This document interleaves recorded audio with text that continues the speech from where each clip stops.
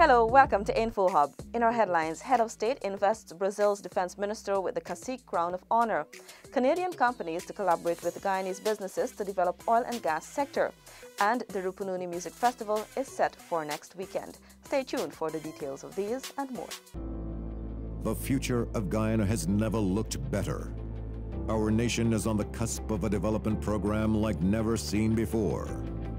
While Guyana is now emerging as an energy giant through the discovery of massive reserves of oil and natural gas, it is your government's intention that the huge benefits emerging from this will go where it matters most, to you, the people of this beloved country.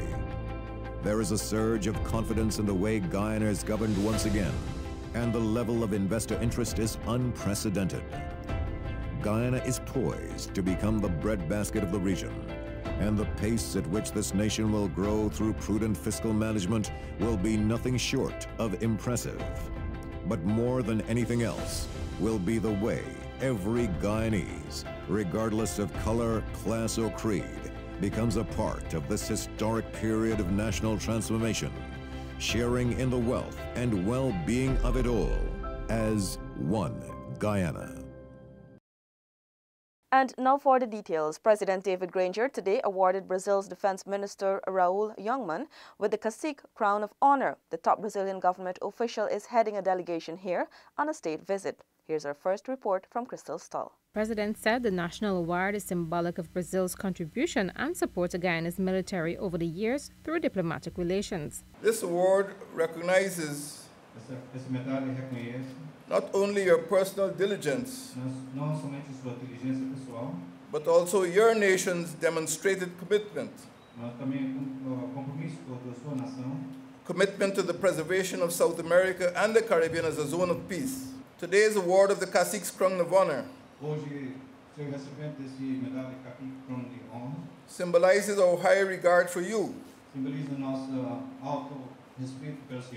And also the acknowledgement e também a, e também confirmação of the successful defense cooperation cooperação sucesso which has existed between Guyana and Brazil que tem acontecido entre Guyana Brasil for nearly 50 years. The president also added that the Brazilian nation's commitment to preservation of international law, humanitarian and disaster relief, and consolidated defense cooperation between the two countries is noted in the bestowing of this award. The Minister of Defense of the Federative Republic of Brazil was welcomed as an honorary member to the Orders of Service in Guyana by senior ministers of government, including Minister of State Joseph Harmon and Minister of Foreign Affairs Carl Greenidge, along with Justice Yonette Cummings Edwards. Crystal Stahl for InfoHub. The Caribbean Development Bank is working to help Guyana overcome project implementation challenges. Paul McAdam has the details. The CDB's Director of Projects, Daniel Best, told InfoHub that in executing projects, Guyana faces similar implementation challenges to that faced by other countries within the region. First, um, through procurement, we are undertaking a number of procurement reforms, working closely with our countries to look at in-country procurement systems. What we want to do, and, and this is a move within the development community, is to move closer to national procurement systems, ensuring that countries' procurement systems are are, are open, transparent, fair, and robust enough that as development financing institutions, they can use their system because they would be aligned with our harmonized procurement system. He added that the Caribbean Development Bank will push to have all stakeholders upskilled. Upskill our public servants, upskill our engineers, and, and all the persons who do evaluations in country to ensure that the, the procurement process can happen um, more seamlessly. And then as a bank, we also need to look at, at, at how we deal with this matter of, of implementation. And that's something that we are taking a really hard look at uh, coming on to the end of 2017. We did, and, and we will be taking an even harder look at that in 2018. Giving particular emphasis, of course, to the supervision effort of the bank. Best added that the bank will take a more hands-on approach going forward. If you're assigned, for instance, to Guyana to supervise that project, um, you will now have more time to focus on supervision. Now, consider the benefits of this. You already have the project coordinator in country. You would also have engineering consultants in country. Um, if we now are able to create the space for the CDB officer to provide, for want of a better term, more hand holding, to walk the project coordinator through our processes, to guide them through the evaluation process, we can get to starting construction works much faster. And, and therein is, is the challenge that we are intent on grappling with and, and resolving in, in the years ahead. From the CDB's headquarters in St. Michael, Barbados, Paul McCallum for InfoHub. Zanil Williams tells us that over 20 Canadian organizations experienced in the oil and gas sector currently in Guyana for the GIPEX meeting are in collaboration talks with local businesses to develop the oil and gas sector. Last evening, at a function hosted by the Canadian High Commissioner Lillian Chatterjee, the ambassador noted that the companies here are quite eager to share knowledge with local businesses. Canada is one of the world's principal energy producers with some of the world's largest energy reserves, an industry that supports more than 500,000 direct and indirect jobs. Canada, with decades of experience and lots of learning in the petroleum industry, can now boast world-class expertise in, in exploration and production and its supply chain. E&P method, construction, operation, monitoring of pipelines, optimization software, and other computer applications are among some of the areas that the Canadian businesses are skilled in. One of these new founded collaboration is Guyana Strategic Services, a merger between local public relations firm Saga City Media and Canadian consultancy the Caro Cahau Group. If you need to make connections, if you want to know about trade, if you want to know about Guyana and the oil and gas industry, we offer those services. We're going to we're going to take the, the oil and gas industry by storm. A memorandum of understanding was also signed between the Learning Corps International from Nova Scotia and School of the Nations Guyana. The High Commissioner urged Guyanese companies to develop their manpower in order to benefit from the opportunities that will be made available. Local businesses must continue to enhance their relevance to support the new industries that will emerge and to meet the demands of the future economy. Local businesses need to step up. Zanil Williams for Info Hub. With some 54 years of service to Guyana and the rest of the world, India celebrated its anniversary of the Indian Technical and Economic Cooperation with a simple ceremony held at the Agman Indian restaurant. Alexis Rodney was there and filed this report. The Technical Economic Cooperation ITEC program was initiated by the Indian government and has several components. These include training in the fields of hydrology, engineering, cyber technology management, education, and agriculture, among others. Over 500 Guyanese have so far benefited from the program. Speaking on behalf of Public Service Minister Dr. Rupert Roopnaraine, Permanent Secretary Reginald Brotherson said the ITEC program is well in place to help in the development of Guyana's human capital. Human capital can be increased by education and training. And ITEC is instrumental in allowing us to enhance our human resource development. Brotherson underscored the critical role played by the Public Service Ministry in ensuring that training and developmental plans are actualized when offered by the Indian High Commission. He noted that there are 35 areas allotted to Guyana that are utilized by officers of some 30 public service agencies. Indian High Commissioner Dr. Venkatachalam Mahalingam reminded that the ITEC program is just one of many collaborations his country has with Guyana. Guyana is an important partner for India in the area of development, partnership cooperation, and our cooperation with Guyana is purely driven by Guyana's requirements and, and its priorities. We may proudly say that more than 500 Guyanese have been trained under ITEC scheme. Under the ITEC program, India has partnered with countries including Guyana, St. Kitts and Nevis, Suriname, Venezuela, Brazil, and Chile, among others. It offers over 280 courses in 47 institutions in India in a diverse range of areas.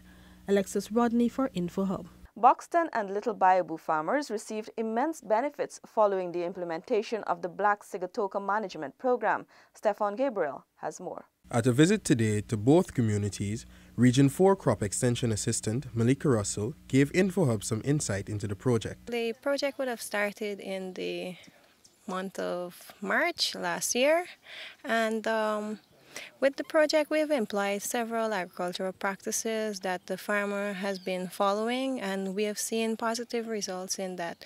We haven't had any occurrence of the black sigatoka disease because he has been putting those practices into place, and um, his work together with ours has made the project more than just a success. The project entails the provision of planting materials, chemicals, and technical advice to farmers by National Agriculture Research and Extension Institute, NARI. District Crop Extension Officer, Narayandat Haridat. Management of Black Sigatoka disease entails three basic aspects. You look at one, the plant nutrition, two, you look at sanitation, and three, you look at spraying, the use of fungicides. Now what we are doing here is that we are incorporating all three. We are looking at the good nutrition, we are re-fertilize regularly, we are looking at sanitation. As you can see the plot is very clean. And thirdly we are adhering to a strict spraying regimen using the various fungicide, the right rates and at the right intervals. Buxton farmer Lyndon Talbot said he welcomed the program. Actually, the project is a good project for me in the sense that um, I'm farming for most of my life. But then um, with the help, uh, um, the NARI team, the, the team, you know what I mean? I was able to boost the plantings. NARI is actively engaged in adaptive research that focuses on improving crop production and productivity for enhanced food security and rural development. For InfoHub, Stefan Gabriel. Director of Culture Tamika Boatswain today announced the inclusion of the Neil Chan Prize for Creativity and Pageantry as part of the King of the Band competition at this year's MASH Night event. Mrs. Sheila Chan, widow of Neil Chan, former costume designer and Mashramani Mash Day and Mash Night convener, has donated a special prize. This trophy will be donated yearly as part of the King of the Band competition. Neil Chan, who died on January 5, 2018, won King of the Band at the Mashramani Mash Night competitions in the 80s and 90s on many occasions, with portrayals of different themes over the years. Chan's costumes dominated the Mashramani scene with presentations that can be described as a masterful blend of costume design and well choreographed pageantry. The Neil Chan Foundation intends to work with the Department of Culture to develop the local festival arts by providing training for young designers to enhance the standard and quality of Mashramani. The third annual Rupununi Music and Arts Festival was officially launched today at the Colgrain House, Camp Street. The event, slated for February 16 to 18th at the Manari Ranch in Lethem, promises to be a memorable one. Crystal joins us again with our final report. The festival's director Barbara Mdani said the weekend's event will include a range of activities and a number of performances by both local and international creative arts groups. During the day, we wish to create space between 10 to 4 so that visitors to the festival can leave the festival if they choose to and visit the neighborhood and other sites and places of interest that exist within the Rupununi. But for those who are staying on site all day long between 10 and 4, we'd have music and art and reading workshops so that people are engaged all the time. Minister of Telecommunication Catherine Hughes encouraged all to get involved in what she described as a wonderful event. I have had personal experience of um, enjoying the festival, being there over a three-day period. And really it is a moving experience because it's not just music, which is a powerful unifying role in any country, in any part of the world.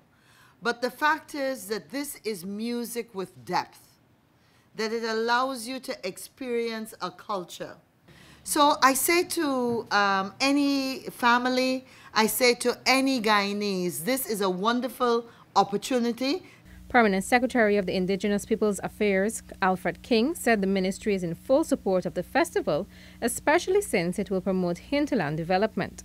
Early in the day, Minister of Indigenous Peoples Affairs Sydney Allicock handed over a check of $5 million to the director of the festival to help offset some of the costs.